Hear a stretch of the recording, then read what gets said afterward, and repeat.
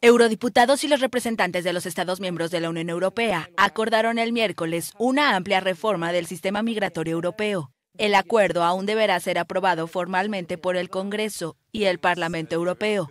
La idea es que se apruebe definitivamente antes de las elecciones europeas de junio de 2024. La reforma prevé centros cerrados cerca de las fronteras exteriores para expulsar a los migrantes que no tengan derecho a asilo.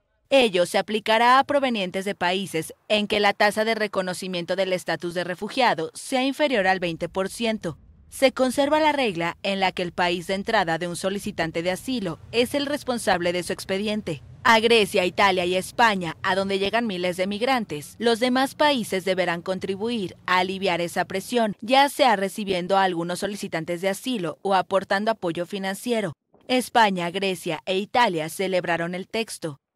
Y en esta presidencia hemos dado pasos decisivos en ese ámbito. Por ejemplo, el que hemos conocido hoy de cerrar un acuerdo fundamental para España también, por nuestra condición geográfica, nuestra situación geográfica, que es el Pacto sobre la Migración y Asilo, que nos va a permitir algo muy importante y es mejorar la gestión de nuestras fronteras, conducir de forma más humana y coordinada los flujos migratorios.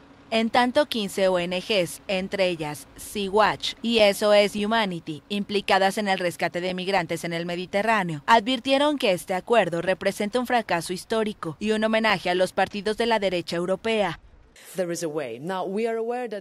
Ahora somos conscientes de que no existe una solución perfecta, no es un paquete perfecto sobre la mesa, y no analiza las soluciones a todos los problemas complejos pero lo que tenemos sobre la mesa es mucho mejor para todos nosotros que lo que teníamos previamente. Hasta noviembre de este año, la agencia Frontex reportó un incremento migratorio del 17%.